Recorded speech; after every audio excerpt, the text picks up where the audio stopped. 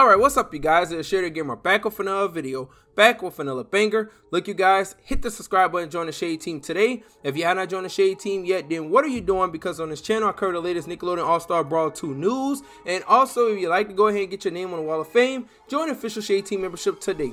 So you guys, Nickelodeon All-Star Brawl 2 is going to be coming out, I'm sure, in October of this year. So with that being said, it got many people that plan on pre-ordering the game or some people that can wait until after the game come out to go ahead and get the game, which that's understandable as well.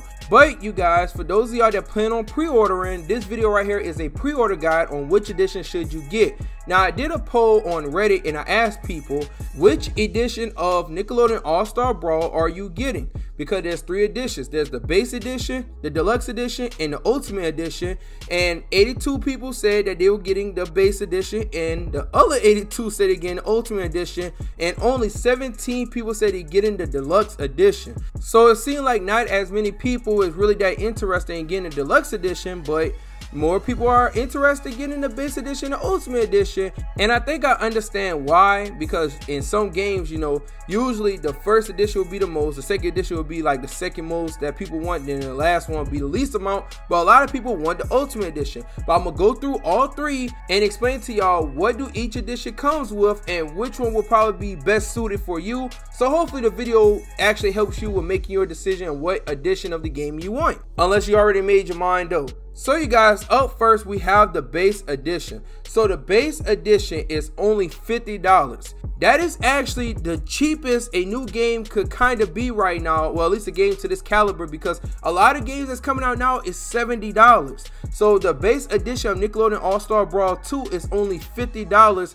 which if you go back to like 2012 that would be a $40 game so in today's time, a $40 game is a $50 game, unfortunately. That's inflation, but this is actually a good price for a new game, especially if you're really interested into Nickelodeon All-Star Brawl. Now, this only comes with just the game. That's it. And from what I'm told, this is the only version that you can get to where it's a physical copy. All the other ones are digital. So the deluxe and ultimate edition are only digital. But if you get this edition, if you pre-order this edition, you also get the pre-order bonus of Patrick Cosmetic, the Elastic Waistband Cosmetic, which I think this is going to be one of the better cosmetics in the game. So you get that as well if you pre-order it. But you only get the game, and if you pre-order it, you get the Patrick Cosmetic as well. So this edition right here is kind of good for people that rather want to save money, or they probably looking to not probably play the game that long, and they're going to wait before they get the DLC and all for the game, which I'm going to get to that later on in the video, because the game do have DLC, and you can wait to buy the DLC, or you could get it with the next editions, which the speaking of the next editions,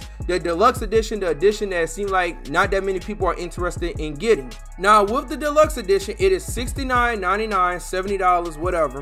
It said the deluxe edition is a digital only edition that includes the base edition plus the season pass. Now, I say I'm gonna talk about the season pass.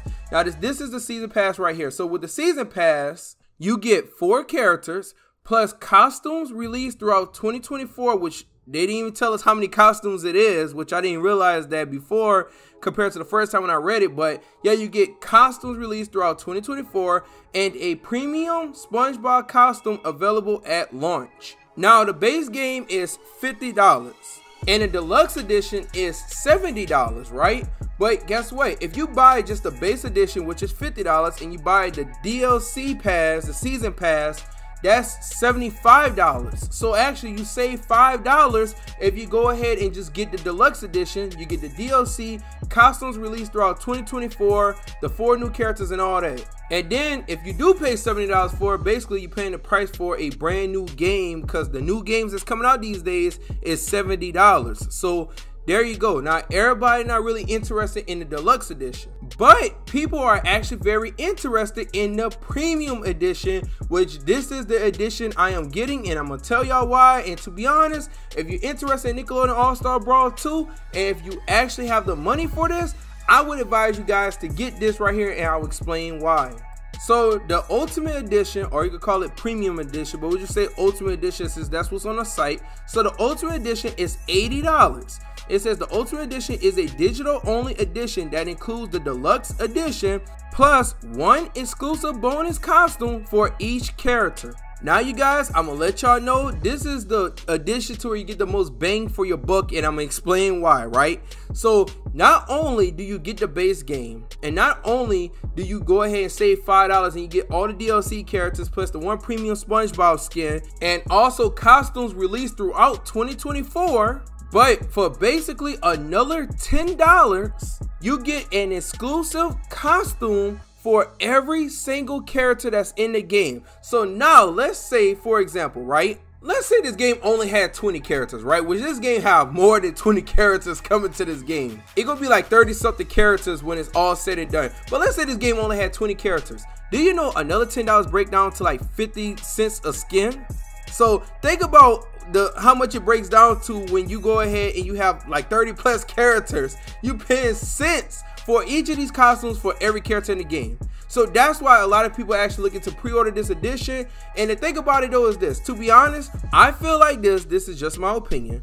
I feel like you should get rather the deluxe edition or the ultimate edition if you're really interested in this game. Reason why I said well, you can have at least all the characters in the game. You might not be able to have all the cosmetics, but you know, cosmetics don't affect nothing but you want to be able to play with all the different characters because you know that's a gameplay element of the game. So i would say get the deluxe or the ultimate edition but if you want to get the base edition that's fine. You might not want to play online or nothing like that or whatever or you might not care about the dlc characters that's fine too. But it looks like a lot of people is just getting the ultimate edition because they do want the full experience of the game. They want to be able to enjoy all the cosmetics and all the characters in the game and stuff like that which to be honest when you really break it down you take the time to really look at it i gotta say this really is a good deal because like i said most games that's coming out these days is $70 like AAA games and all that other stuff. And if a new smash bros. came out it'll be $70 as well rightfully so. But the game is only $50 at base edition.